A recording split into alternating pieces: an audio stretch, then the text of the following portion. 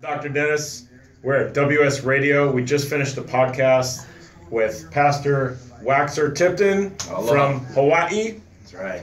And uh, he was kind enough, and he was joined by Cyndi, his wife, who's actually videotaping this for us right now. She got hired, so we're, we're going to have her in the next video too.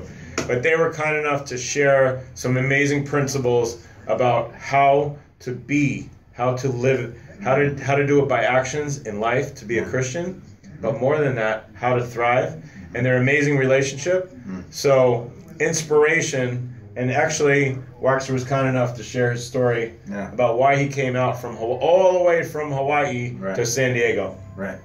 Um, in real short and real brief, if you're like me, seeing doc after doc after doc, and all I've been given is almost conflicting information. This, do this, no, don't do this. Take this medication or don't take this medication. Eat these things, don't eat these things, and everything. If anything, at best, it gave me a minimal alleviation. And so, uh, by having a mutual friend who said he was in chronic pain, and just several sessions with Deniz, he was already walking and taking walks with his wife, and that's not something I've been able to do in about four years uh, is take walks with my wife. So that was my motivation. And guess what? The last three days, we've taken a couple of short walks together.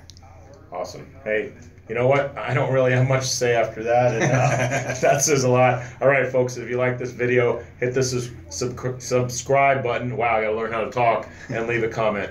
God bless. Do it.